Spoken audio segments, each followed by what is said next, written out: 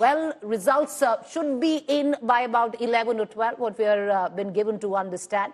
And all of this comes in after the Super Sunday yesterday, where four states uh, went where counting was concerned, and uh, the Hindi heartland swept by the Bharatiya Janata Party, and Telangana won by the Congress. Uh, after 3 1 win, BJP hopes uh, at least to make certain inroads where the Mizoram is concerned. Well, they need it for perception coming at the back of Manipur, but the wind or the political wind in Aizawl seems to be in favor of the ZPM, at least by what the ground report suggests and our exit polls. Here's a report by my colleague Anupam Mishra. We are here in Aizawl, the capital city of uh, hilly state Mizoram, and this is uh, the party office of ZPM, the headquarters of ZPM in Aizawl city, uh, Zoram People's Movement, which is uh, predicted to win in exit polls. Exit polls predict a sweep by the Zoram People's Movement formed in 2018. Five years back, it has managed to get only 8 seats out of the total of 40 seats of Mizoram Assembly. This time, they hope to dethrone Zoramthanga or Mizo National Front, an ally of BJP. Uh, first of all, I would like to thank India Today for the exit poll. And I understand that the exit poll of India Today is the most reliable in the country using scientific methods.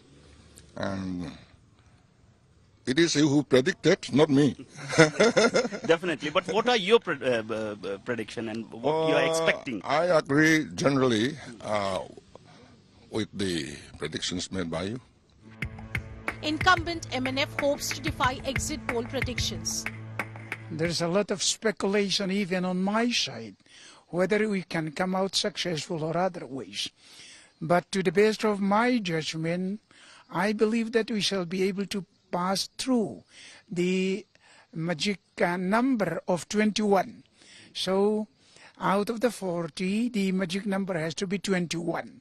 So I believe that we shall be able to form the government between uh, uh, 21 to 23, 24, up to 25. That was what I was uh, having in my mind.